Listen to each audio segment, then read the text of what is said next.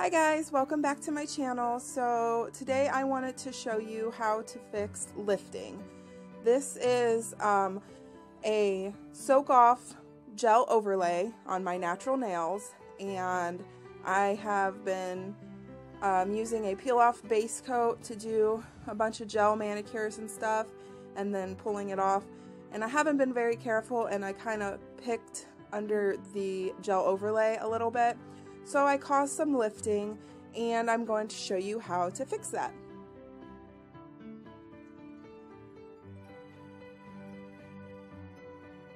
It's taken me a while to get this video out. I recorded this a quite a while ago and I'm just now getting around to editing it so I apologize for that. I really wanted to get this out sooner but I kind of got overwhelmed with all the Christmas manis and whatnot so um, Right here I'm just showing you where I filled some lifting before and you can see that white line. That is because I did not properly um, take care of the lifted spot before I went ahead and just put the gel over top of it.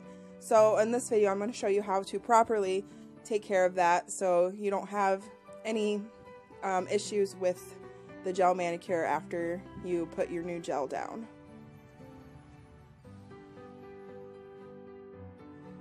Okay, so first thing you want to do is take a pair of nippers and cut away the gel that's lifted from the nail. Try not to tug on it. Um, you don't want to cause it to lift any more than it already is. Just cut away the extra that's uh, pretty lifted. Then take a file and you're going to go in and file the gel that's around the lifted area. You do not want to file onto your natural nail. You just want to try to file the gel that is right next to the natural nail to get it as smooth as possible so when you do your fill it won't be as hard to do. I hope I'm making sense guys. I try my best to explain things but sometimes it's just it's hard to explain. Um, so I filed it a bit and noticed that there was still a bit pulling away from the nail so I cut that away and then go in with my file some more and I just keep smoothing out the gel and thinning down the rest of the gel a little bit because we're going to add our new gel over top of the entire nail, not just that lifted spot. And a good way to check and see if you've got all of the gel nice and smooth um, is to take some rubbing alcohol and clean the spot and that way it gets rid of the dust from the filing and then you can see whether you need to go in and file some more or not. Like I said, I had a pretty significant amount of lifting, so I had to do quite a bit of work on this. Um, but this is sped up pretty fast.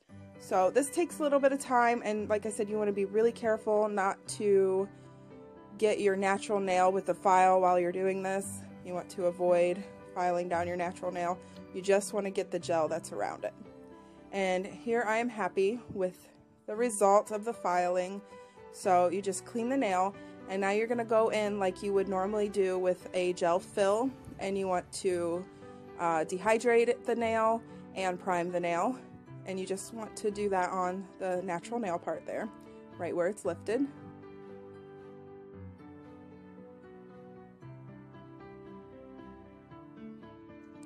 And then just as if you were going to go in and do a fill, you want to take a nice thin layer of gel and really scrub that into the nail. Make sure it's a nice thin layer and you're really working it into the natural nail so it sticks good.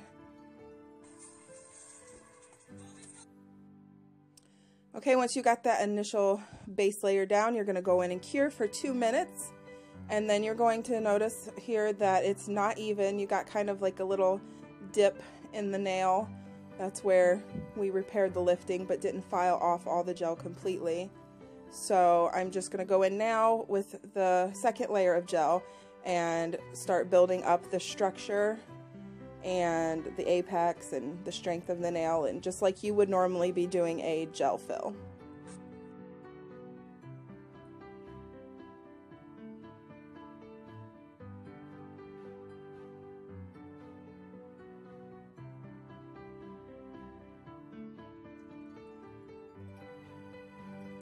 Once you're happy with the shape of the nail, go ahead and give it a full cure.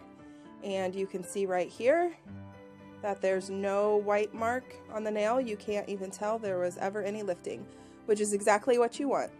Then you go ahead and clean off that inhibition layer and you're ready to either file and shape the nail if you need to or go ahead and do whatever manicure you're ready to do. And that's it. I hope this was helpful, guys. I'm sorry I'm so bad at explaining things, but please feel free to ask me any questions in the comments below. And thank you so much for watching, and I will see you all next time. Bye.